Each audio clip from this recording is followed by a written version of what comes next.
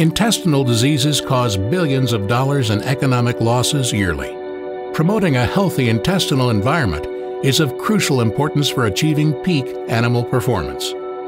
The intestines are covered with finger like structures called villi, whose primary function is to absorb nutrients. The villi and the underlying tissue are also home to the animal's largest population of immune cells. Enterocytes, the cells which line the villi, absorb nutrients from the lumen into the circulatory system using microvilli which extend from their surfaces. The walls of the intestine act as a barrier between these harmful pathogens and the rest of the animal's body. The one cell thick barrier is comprised of tight junctions between enterocytes, as well as a layer of mucus. To perform these roles adequately, it is essential that enterocytes are healthy, properly nourished, and energized. In normal production environments, animals are exposed to various pathogens from their food and environment. Some are destroyed by the stomach's acidic environment, while others survive and establish themselves as part of the microbiota within the small intestine.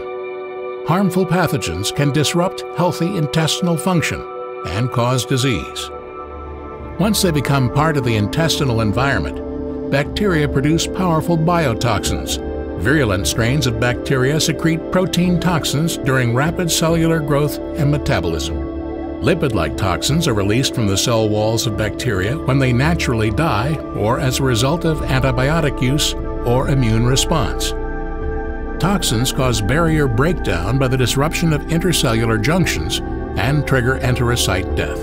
This impedes nutrient digestion and absorption, limits organ function, and allows toxins to enter the circulation of the animal, causing inflammatory cascades.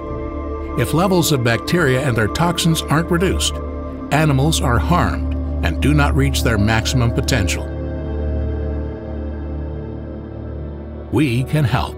Amlan International's proven portfolio of products modify the intestinal environment by reducing toxins and pathogenic bacteria, stimulating immune function, and energizing the animal's gut barrier function.